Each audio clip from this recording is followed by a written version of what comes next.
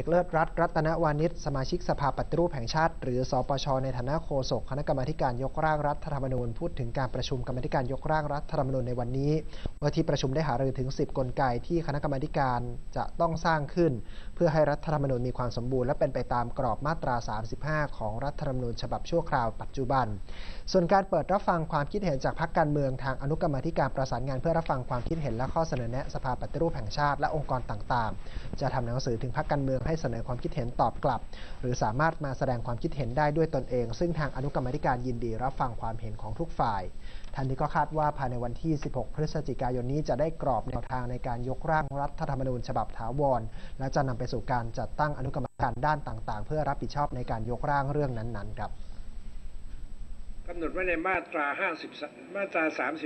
35 ว่าการยกร่างรัฐธรรมนูญฉบับใหม่นี้จะต้องมี 10กลไกที่จะ ให้เป็นไปตามข้อกำหนดไม่ว่าจะเป็นในเรื่องของกลไกในการที่ให้เป็นการปกครองในระบอบประชาธิปไตยมีมหากษัตริย์ทรงเป็นประมุขเรื่องของการขจัดการประพฤติมิชอบ เรื่องของการที่จะป้องกันไม่ให้นักการเมืองที่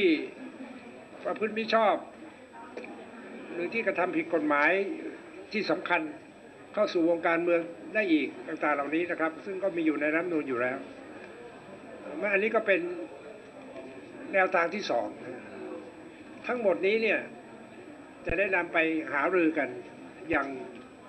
เข้มข้นให้ตกผลึก